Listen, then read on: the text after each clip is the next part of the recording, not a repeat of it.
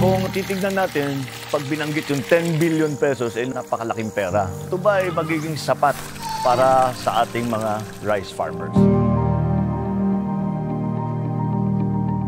10 billion kada taon ang budget. Total rice area for Region 1 wet season is 305,000 hectares. Ang needed na combine harvester is 750 units. At 2.1 million pesos per unit, we need 11.3 billion for Region 1 alone. Region 1 na ay isa sa mga region na pinakamaliit sa Pilipinas. So ang ang sinasabi ko sir, maliit yung 10 billion Maliit. uh, for the entire country.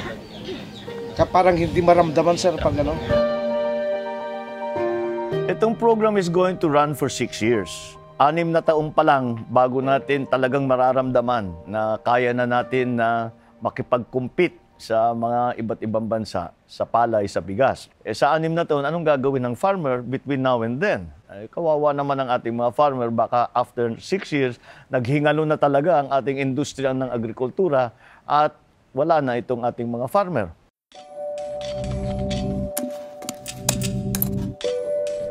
Ang natuklasan namin nung nasa Ilocos Norte ako, nung governor ako, ang kawawang farmer, wala silang option. Wala silang ibang bebentahan kundi yung trader din. The preference of farmers is still the middleman kasi easily they got their payment of their produce without so many conditions. Mula noon, parang ganun na, na maraming requirements at saka may mga criteria na sinusunod din ng NFA. Ang NFA kasi is considering 14% moisture content. There should be a limit in impurities. It should be pure. It should be dried to 14% level. So maraming considerations. Kung uh, yung proseso ay gagawing simple lang, yung mga malilit na magsasaka ay pwede nang dumiretso. And hindi namin sinasabi na masamang tao yung mga trader. Mga negosyante lang talaga yan. Ang nangyayari dito, dahil mahaba na ang relasyon, sila na ang nagiging parang gobyerno na supporter. Naiipit ang farmer, doon sa trader lang siya pwedeng makipagnegosyo.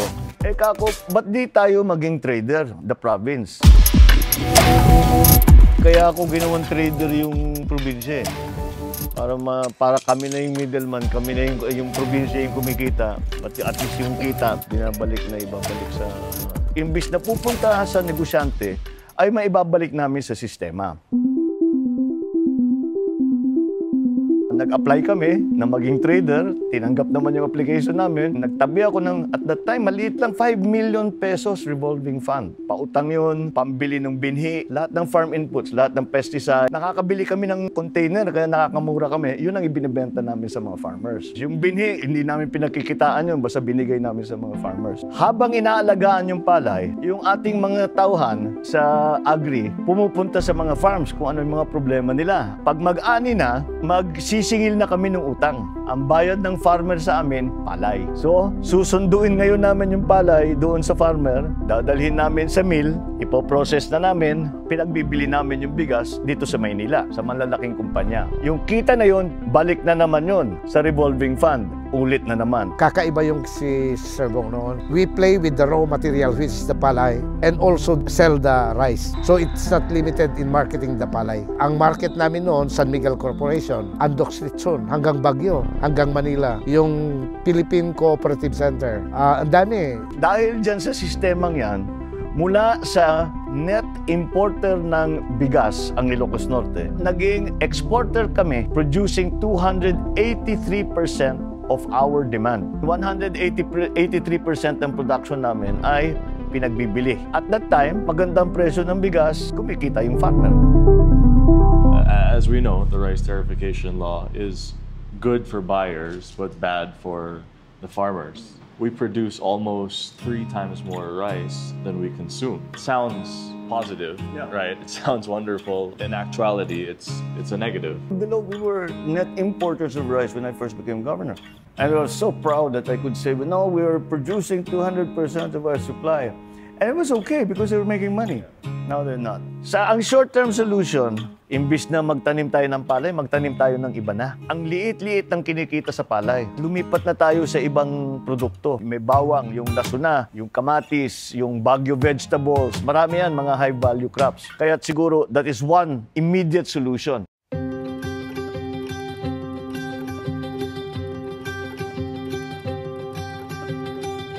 According to the Philippine Rice Industry Roadmap, up to 2030, marami silang mga goals. They, these are good goals, pero para, para sa akin, kulang pa. Even after the roadmap, mataas pa rin ang cost of production kesa as compared to uh, other countries. Sana, by the end of the decade, malampasan na natin sila.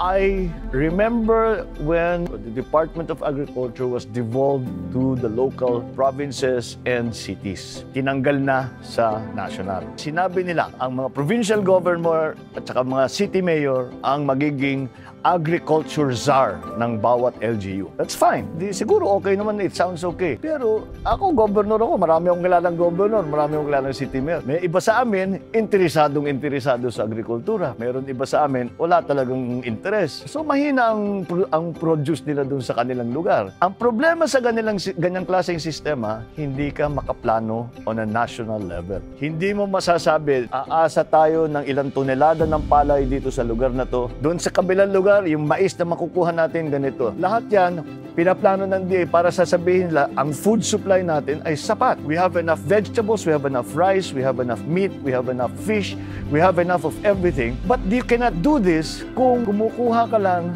ng resulta sa iba't ibang probinsya. Kailangan planuhin mo ang buong Pilipinas. Dahil ang agrikultura naman ay hindi nangingilala ng political border ng probinsya, ng city, hindi nangingilala niyan. Kaya you have to plan across kung ano yung terrain, kung ano yung weather, kung ano yung elevation, kung ano yung klase ng lupa. At hindi dahil kung nasaan yung probinsya. I believe that we cannot give them that support hanggat mabuo ulit natin at mabalik natin ang Department of Agri sa national para makapagplano tayo ng buo para sa buong bansa. Makapagplano tayo ng mahaba. We can plan for 10, 12, 15 years. Kagaya ng ginagawa ng naging kompetensya natin na ibang bansa. Oh, nice to be back here talking about uh, agri.